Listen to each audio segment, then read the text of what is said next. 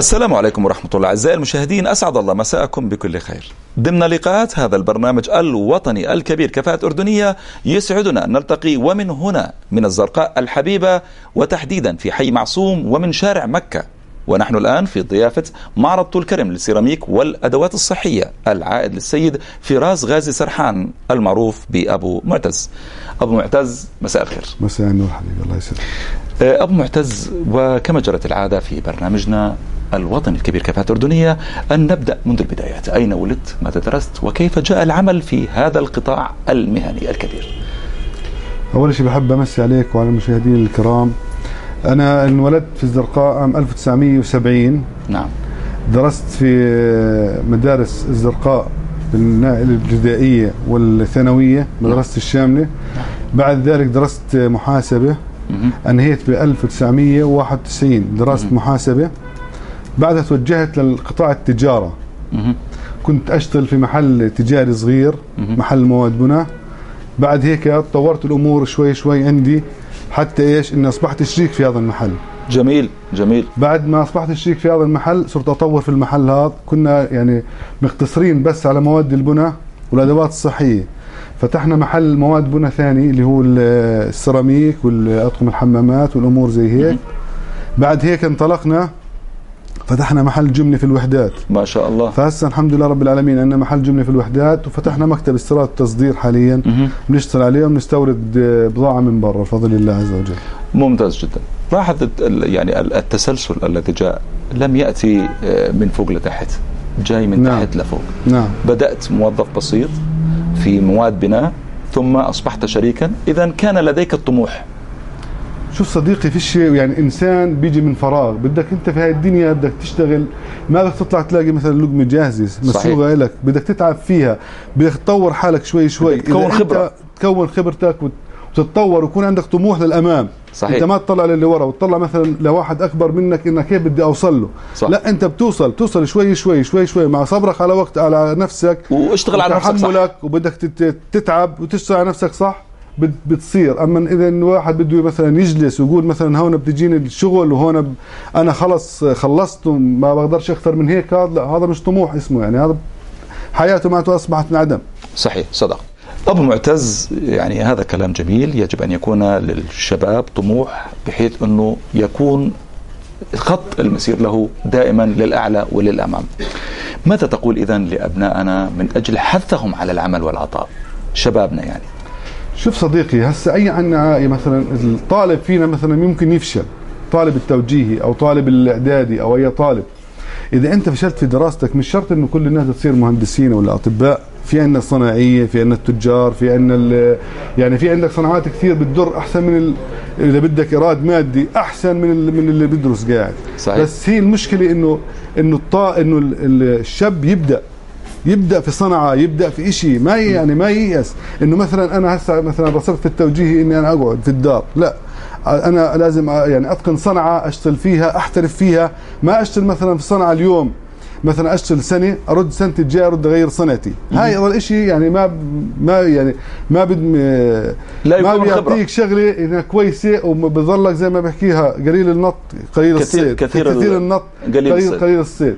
فبالتالي إذا بيركز في شغلة معينة يعني بيطلع منه شيء كثير. ويستطيع أن يطور من كفاءته فيها. طبعا شيء طبيعي جميل. جدا. إذا هذه من أفضل النصائح.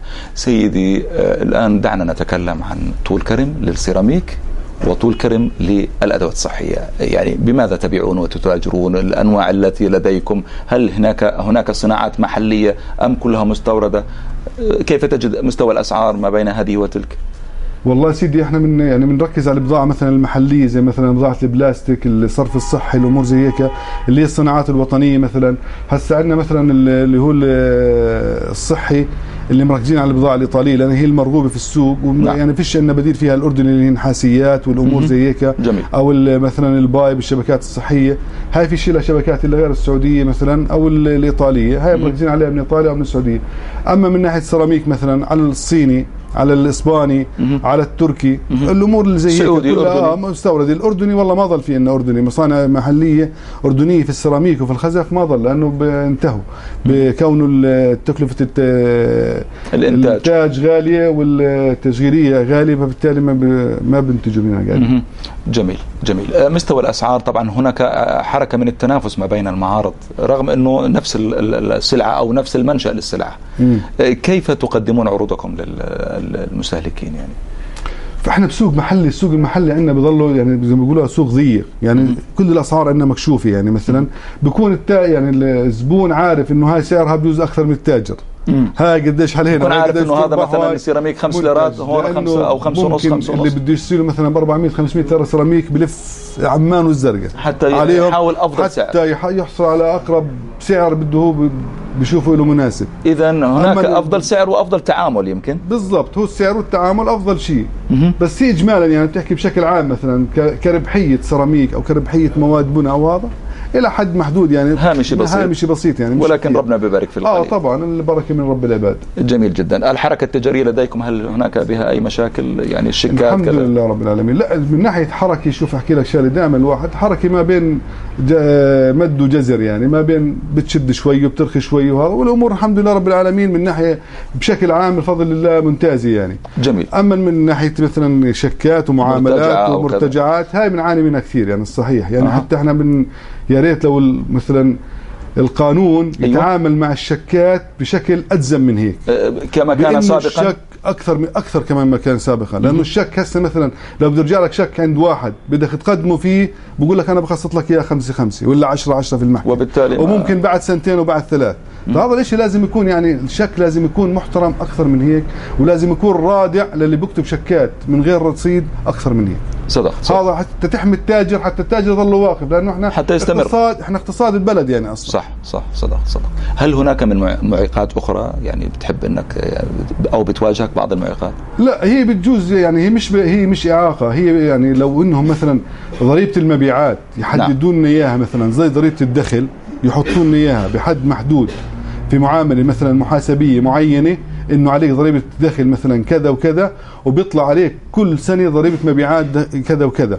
حتى ممكن مثلا يريحونا من مسك الدفاتر ممكن يريحونا من قضية المحاسبين لأنه برضه يعني بدك مثلا بدك ضريبة المبيعات بدك يكون عندك مسك حسابات وبدك يكون عندك حسابات دقيقة فبتبلشك في شغلات كثيرة. فممكن لو انهم يحطوا لنا إياها مثلا ضريبة مقطوعة على أي محل يقيموه هم في ال في, ال في كذا معين بسقف معين بكون برضه ممتاز بتكون جداً. أفضل للتعامل. طبعا أفضل وأسهل التعامل و... وأسلس وأريح وبتحط كيس وأسرع في. الإنجاز أبو معتز أرجو أن توضح للساده المشاهدين العنوان لهذه المعارض معرض طول كرم للسيراميك والأدوات الصحية أيضا إحنا معرض طول كرم للسيراميك بنبعد عن دوار حي معصوم 200 متر على اليمين ومعرض آه، محلات طول كرم للأدوات الصحية بتبعد 200 متر عن دوار حي معصوم على الشمال. جميل جاي. من الدوار وإحنا جايين من الدوار. ابو معتز الأمن والأمان وهذه النعمة التي نعيش هنا في الأردن والتي نحمد الله عليها كثيرا.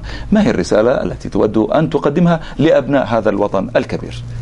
أول شيء سيدي نحمد الله عز وجل على هاي النعمة لأن هاي نعمة كبيرة جدا جدا جدا خاصة إحنا في منطقتنا الشرق الأوسط. نعم. يعني إحنا محوطين بالكامل في بلدان لا ت... لا, لا ينعم لا بنعمة الأمن ولا الأمان. وإحنا بفضل الله عز وجل اللهم لك الحمد, الحمد على لله. هاي النعمة. أكيد. طبعا هاي النعمة من آه، بنشكر الله عز وجل عليها ومن ثم قائد جلالة الملك الأعظم لأنه بحكمته وبحكمته آه، مدبر أمورنا بصدق يعني بشكل إحنا ما بنعرف فيه. بس هو بيشتغل فينا بيشتغل قاعد وب- وبحط فينا على بر أمان. الحمد لله وذلك يعني. بفضل الله عز وجل. جلالة الملك عبد الله الثاني بن حسين الملك لله المعظم يعني آه، إدارة حكيمة بعد نظر آه، حكمة يعني والحمد لله يقود البلاد ب- نحو بر الأمان دائما نعم الحمد آه، لله وأيضا نضيف على ذلك آه، نضيف على ذلك طبعا قواتنا المسلحة الأردنية الهاشمي الباسله اللي هي بتسهر عليه على أمننا وعلى اطمئناننا وعلى راحتنا هم والامن الداخلي الأمن العام الأجهزة الأمنية، نعم. الاجهزه الامنيه والجهاز الاستخبارات والمخابرات كلهم الحمد لله. يعني شكر و يعني لو نظن هذول الجماعة نشكر فيهم سبحان الله ما منه فيهم حقنا وأيضاً الرسول صلى الله عليه وسلم يقول من لا يشكر الناس لا يشكر لا يشكر الله. الله, وإحنا صدق. هذول يعني واجب علينا شكرهم الصدق يعني أكيد وأيضا لا ننسى يعني وعي المواطن الأردني ومن يقيم على هذه الأرض الطي- الطيبة الطاهرة آه، لأنه استدرك ما يجري حوله وحافظ على هذه النعمة موا- سيدي مواطننا سيدي نعم. نعم. العزيز يعني عنده عقلية واعية في الأمور اللي بتتدارك حواليه قاعد وعارف شو بيصير فيه. فإحنا متعايشين في هالبلد يعني بجوز سبعة ثمان جنسيات والكل فينا مستوعب الثاني والكل عارف شو هذا حقوقه وهذا شو واجباته فبالتالي عارفين الحمد لله رب العالمين شو كيف بدنا ننتج وكيف بدنا نعيش وكيف بدنا نتعايش مع الناس والفضل لله عز وجل عايشين ومتعايشين مع جنسيات مع أولاد بلدنا ومع أولاد يعني جدتنا من الجالية العربيه وعايشين معهم مطمئنين ونحن بفضل الله عز وجل وكلياتنا بأمن وأمان ونعمة وخير وفضل الله وجل أبو معتز قبل أن أنهي هذا اللقاء لو قدر لكم شخصيا وأن تقابلتم مع جلالة الملك عبد الله الثاني بن الحسين ماذا تود أو ترغب أن تقول لحضرته سيدي؟ نعم كله غير الله يعطيك العافية ومشد عيدك على اللي بقدم لنا إياه قاعد. لأنه فعلا يعني أكثر من هيك شو بدنا نحكي له يعني.